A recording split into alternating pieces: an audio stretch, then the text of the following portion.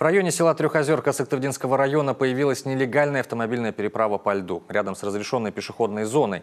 Судя по наличию следов, смельчаков на колесах в данной части заледенелой вычегды хватает. Любопытно, что от желания рискнуть собственной жизнью местных не спасают ни запрещающие знаки, ни преграждающий шлагбаум. Кстати, несколько дней назад за самодеятельность на льду уже был наказан один из жителей Сыктывкара. Пересекая реку на тракторе, водитель едва не погиб.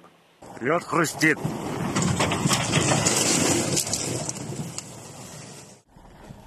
В статистику конкретно этот случай не попал, потому что обошлось без пострадавших. Но, конечно, он не единственный.